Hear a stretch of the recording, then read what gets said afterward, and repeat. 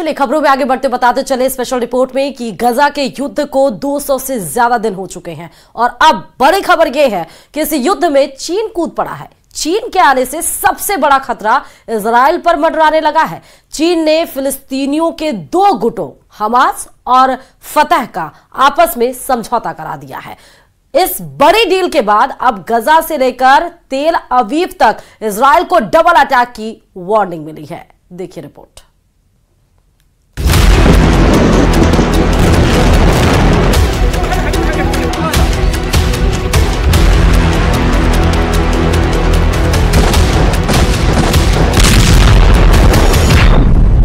Gaza युद्ध में कूदा चीन। अब फंस गया इसराइल 200 दिन की जंग के बाद इसराइल के लिए गाजा युद्ध एक बार फिर नासूर बनता जा रहा है। हालात ये हो गए हैं कि अभी तक गाजा पट्टी को पूरी तरह से कब्जे का प्लान पूरा भी नहीं हुआ है और इधर गाजा से सटे रफा में इजरायली सेना ने बहुत बड़ा ऑपरेशन शुरू कर दिया है। पिछले पंद्रह दिनों के अंदर इजरायली सेना ने रफा में दो ज़बरदस्त और बेहद खूनी हमले किए हैं, जिससे सबसे ज़्यादा फिलिस्तीनी महिलाएँ और बच्चे मारे गए हैं।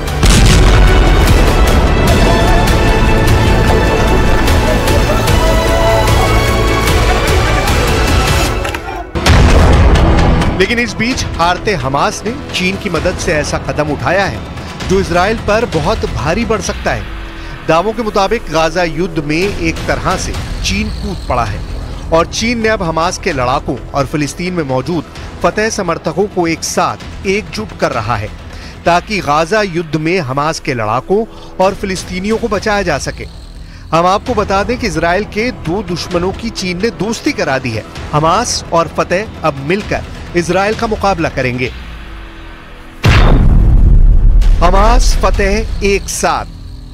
रफा में डबल अटैक 应中方邀请，巴勒斯坦民族解放运动和伊斯兰抵抗组织代表日前来京磋商，就推进巴内部和解、深入坦诚对话 हम आपको बता दें कि फिलिस्तीन में दो गुट हैं जो फिलिस्तीनियों के हक के लिए जंग कर रहे हैं ये हैं फिलिस्तीनी समूह फतेह और हमास फिलिस्तीनी समूह फतेह और हमास लगभग दो दशक से एक दूसरे के कट्टर दुश्मन रहे हैं। लेकिन अब चीन ने इसराइल के खिलाफ फिलिस्तीनी समूह फतेह और हमास को एक साथ ला दिया है। दोनों को इसराइल के खिलाफ एकजुट कर दिया है।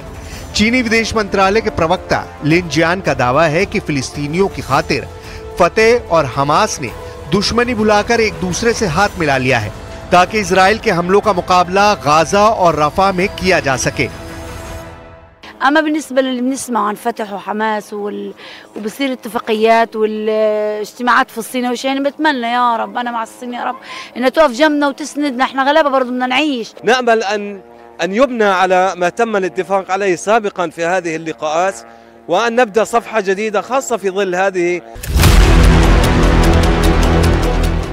अब आप ये भी जान लीजिए कि हमास और फतेह के समझौते से इसराइल को क्या नुकसान होगा पश्चिमी मीडिया के मुताबिक और कुछ गाजा युद्ध के जानकारों के मुताबिक, अभी तक इसराइल की खुफिया एजेंसी मुसाद और शिनबेद गाजा में इसलिए कामयाब हो रही हैं क्योंकि हमास लड़ाकों की मुखबरी में फिलिस्तीनी गुट फतेह समर्थकों का ज़बरदस्त हाथ था, जो हमास के टॉप कमांडर्स की मुखबरी कर रहे थे।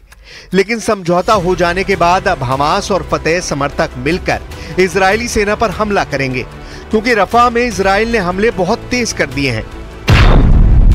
इस एनिमेशन से समझिए क्यों रफा में इजरायली ऑपरेशन को खूनी युद्ध कहा जा रहा है। गाजा पट्टी के दक्षिणी शहर रफा में इसराइल बड़ा ऑपरेशन करने जा रहा है, जिसकी वजह से 23 लाख की आबादी वाले इस इलाके में भयानक खून खराबा होगा। यहाँ हमास के लड़ाकों से ज़्यादा आम इंसान मारे जाएँगे। 15 दिन के अंदर इसराइल की आईडीएफ ने रफा में भीषण हमले किए हैं, जिसमें लगभग 50 के करीब फिलिस्तीनी मारे गए हैं। अब रफा में दुनिया वो खूनी मंजर देखने जा रही है, जिसकी कल्पना करना भी मुश्किल है। चीन बेशक हमास और फतेह के बीच समझौता करा चुका हो, लेकिन ज़मीन पर चल रही जंग में इसराइल को हराना जरा भी आसान नहीं है।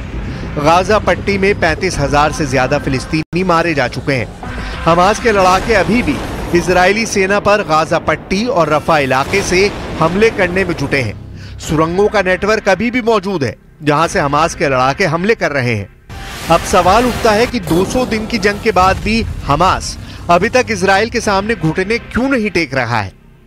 इसके पीछे है हमास के वो नेता, जो आखिरी सांस तक इसराइल से जंग करने पर आमादा है।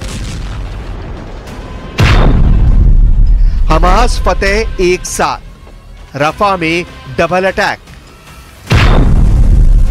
हमास के ज़िंदा चार टॉप कमांडरों की वजह से गाजा युद्ध लगातार 200 दिन से चल रहा है। हमास का शीर्ष नेता इस्माइल हानिया है, जो अभी तक ज़िंदा है। दूसरे नंबर पर याहिया सिनवार है, जिसे खान यूनुस का कसाई कहा जाता है, जो सुरंग युद्ध में बेहद माहिर है। वो भी अभी तक ज़िंदा है।